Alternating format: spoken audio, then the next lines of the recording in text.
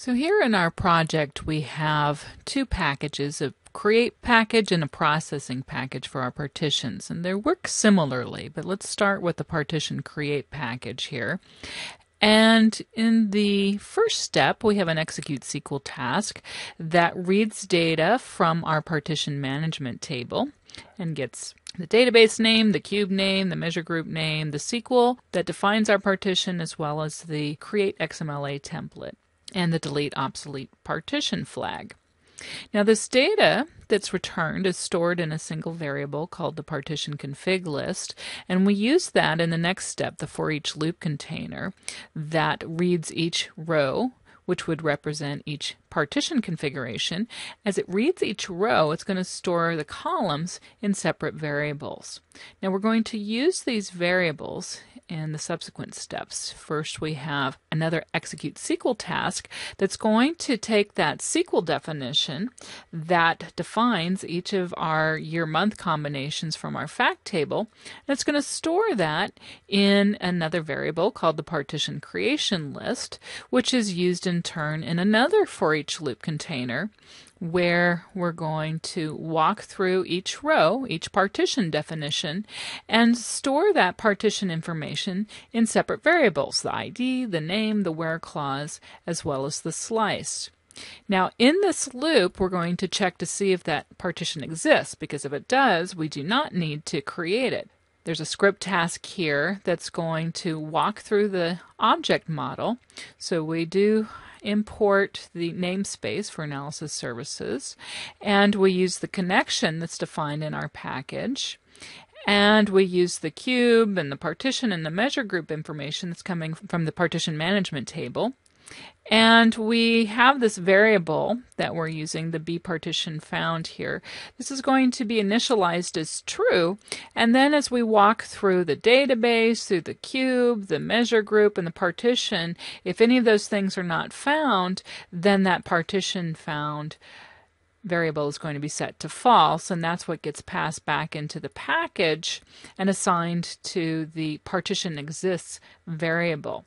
So then that gets used to determine whether or not to continue. So there's a precedence constraint here that looks at that partition exists value and says if it's false, then move on to the next step, which is the replace tags.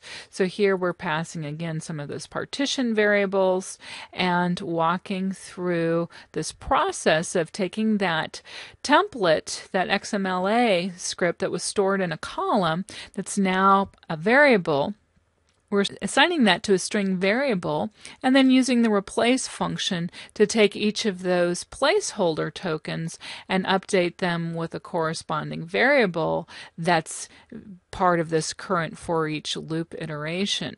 So when that's done, the resulting string is stored in this variable partition XML creation, which then in turn gets used in this create partition, which is an execute DDL task, which takes that XMLA script and runs it against the analysis services server, and that's what creates our partitions.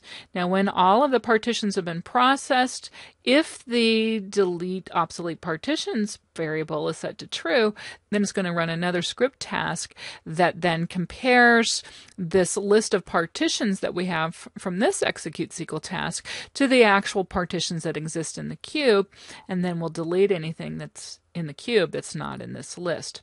So let's go ahead and execute this package.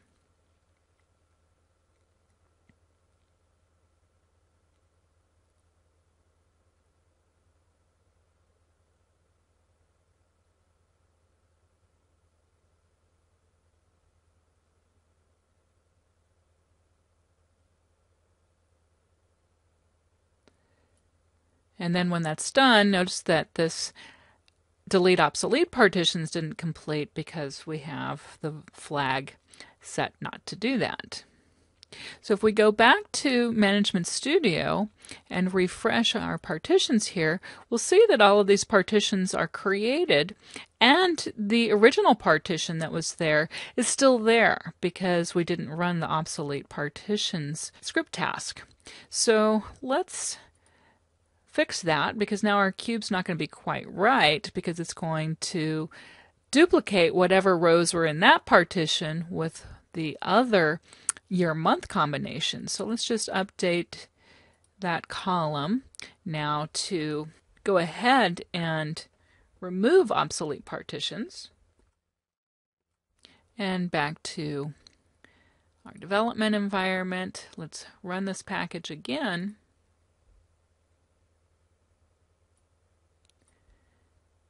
And we see that it's not running the replace tags this time because each of those partitions already exists.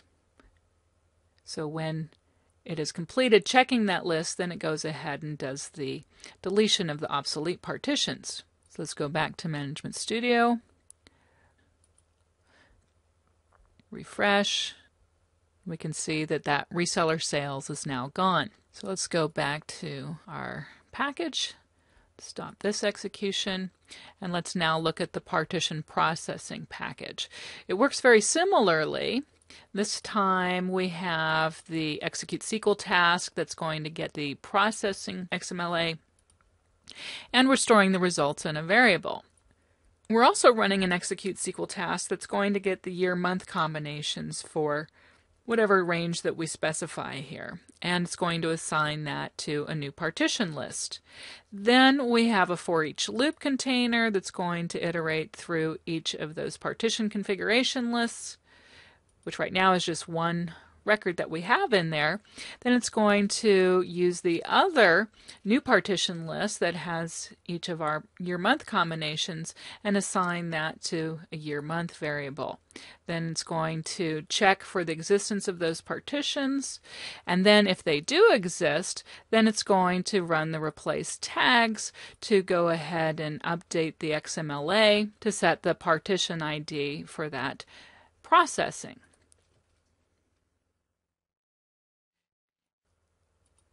And then it will actually do the processing. And that's with the execute DDL task. So let's go ahead and process that, and that will bring our cube up to date with the new partitions.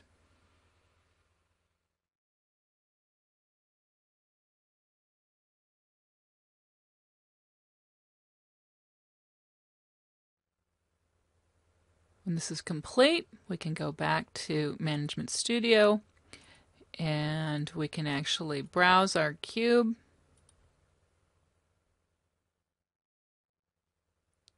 But we can see that we have the different time periods of data. So that's how we set up dynamic partitioning.